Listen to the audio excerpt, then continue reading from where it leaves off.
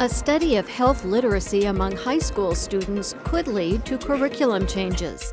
The project is a collaboration between Lincoln Public Schools and the University of Nebraska Lincoln Academy for Child and Family Well-Being. Health literacy is the ability to access uh, valid health information and to use that to make responsible health decisions.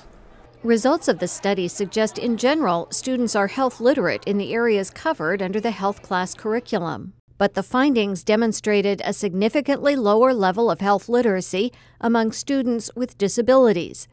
The risk of limited health literacy was 128% higher for students in special education. There's a big difference between these two groups, these two populations.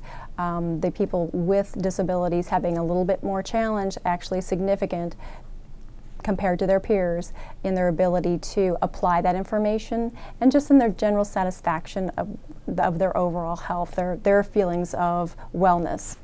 The study also identified weaknesses in areas not currently covered in the health curriculum. For example, students didn't know how to get health insurance or make their own appointments with a doctor or dentist.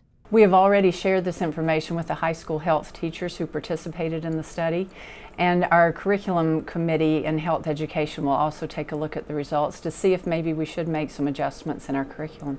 The project is directed by Alex Trout, co-director of the Academy for Child and Family Well-Being. This is really important to um, finding out lots of information that will hopefully benefit youth, the schools, all of us.